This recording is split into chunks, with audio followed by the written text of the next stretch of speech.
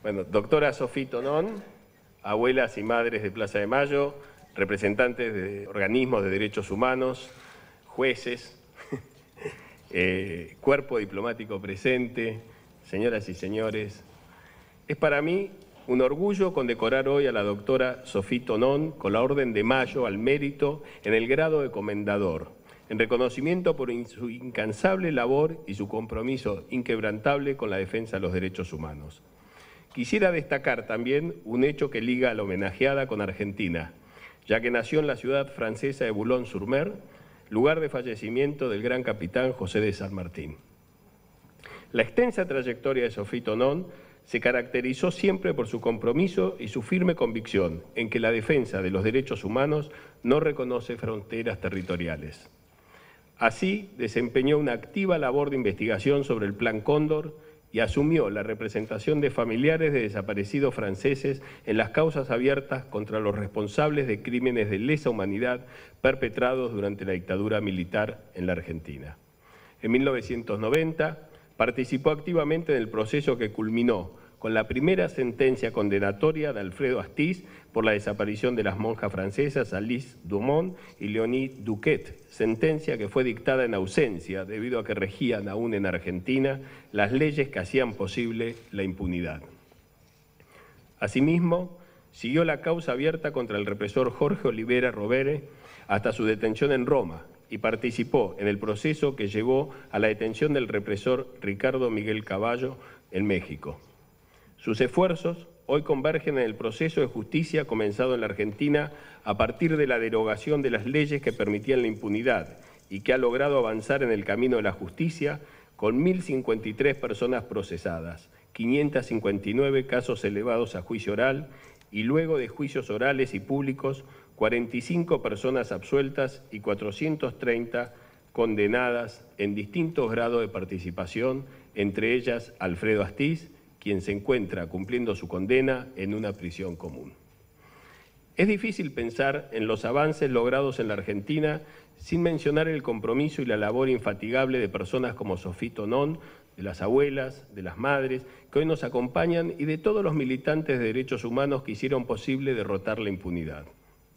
Deseo asimismo expresar mi agradecimiento a Sofía Tonón por integrar la representación de nuestro país en el pedido de extradición de Mario Sandoval, quien hoy se ampara en su ciudadanía francesa para evitar enfrentar a la justicia en la causa abierta por violaciones a los derechos humanos. Por último, no puedo dejar de hacer mención del compromiso de Sophie Tonon como miembro del grupo francés Pro Diálogo en la cuestión Malvinas que apoya y promueve el diálogo entre la Argentina y el Reino Unido por la resolución pacífica y definitiva de la disputa de soberanía conforme a las resoluciones de Naciones Unidas y los reiterados llamados de la comunidad internacional. Tras 30 años de vigencia de la democracia, los derechos humanos son parte constitutiva e inseparable de la identidad argentina. La distinción que hoy entrego a Sofía Tonón se inscribe en el reconocimiento a su contribución al proceso de memoria, verdad y justicia que constituyen hoy pilares inamovibles de nuestra sociedad. Muchas gracias.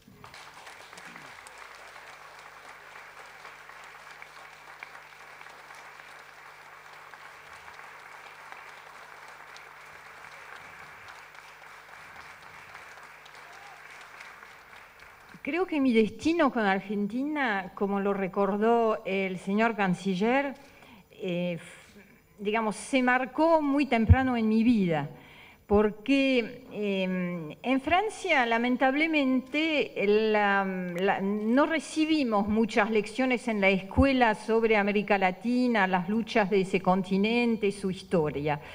Pero si hay una ciudad en la cual Argentina está muy presente, es Boulogne-sur-Mer. Y entonces había frente a la casa de mis padres una estatua que es la réplica, en realidad, que fue un regalo de la ciudad de Buenos Aires a la ciudad de Boulogne-sur-Mer. Había una réplica de eh, la estatua de San Martín sobre su caballo, liberando América Latina, y con bajos relieves de eh, bronce que contaban muchos acontecimientos de la lucha de independencia, la cruzada de los Andes, el encuentro con, con Bolívar. Y mi madre, que era una persona culta, me contaba eh, lo que había pasado. Entonces yo era em, una de las pocas chicas que había recibido en Francia algunos elementos sobre Argentina. Entonces fue em, digamos, una especie de, de, cultura, de enseñanza que recibí sin saber lo que em, yo iba a hacer con eso. Después en Francia hubo una gran movilización de la juventud alrededor de la Unión de la Izquierda en Chile en el 70. Y entonces pensé que era una buena oportunidad para mí de ver lo que estaba pasando en Chile. Yo era muy jovencita en aquella época y ahí me reenganché con América Latina y con Argentina más específicamente. Y después ese, ese, lazo con Argentina, cuando volví a Francia, lamentablemente no se podía desmentir porque em, tres años casi después del golpe chileno viene el golpe eh, argentino en el 76. Y ahí luché en el marco de una asociación Francia-América Latina que em, hizo muchísimas cosas para hacer conocer la tragedia de la represión en la Argentina de los desaparecidos. Eh. Después participé en el juicio a Astiz, como se dice, eh, como lo dijo el, canciller, y ahí yo creo que eh, estaba definitivamente sellada con el sello Argentina y lucha para los derechos humanos.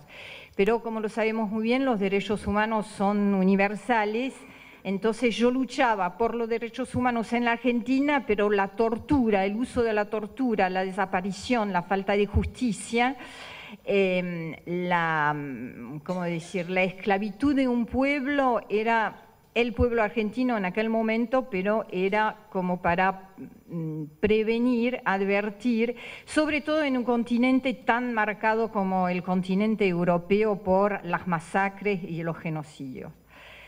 Em, entonces ahora recibir esa medalla para mí es como eh, cerrar provisoriamente una especie de ciclo de mi vida.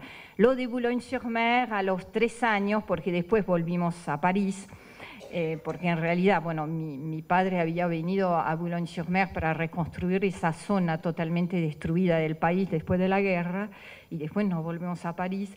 Y mm, entonces que Em, es como, mm, digamos, haber, sí, haber cerrado provisoriamente un ciclo de mi vida. Ese ciclo, por supuesto, no está cerrado porque hay muchas otras luchas. Como lo dijo el canciller Timmerman, eh, ahora en Francia estamos corriendo a pedido a la justicia argentina detrás de un represor argentino, Mario Sandoval, que resiste bastante.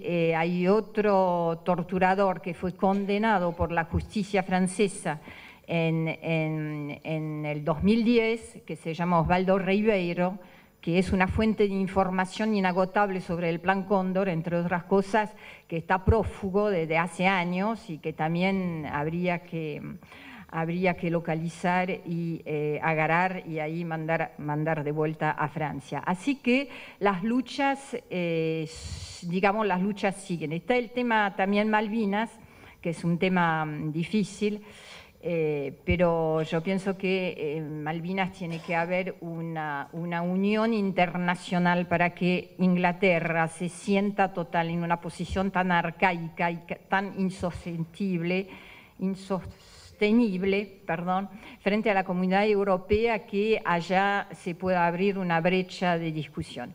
Así que, em, bueno, los temas de lucha son, muchos y en esa lucha, que a veces es una lucha, es una lucha em, en la soledad, estoy muy feliz de que tantos de mis amigos estén alrededor mío en ese gran momento.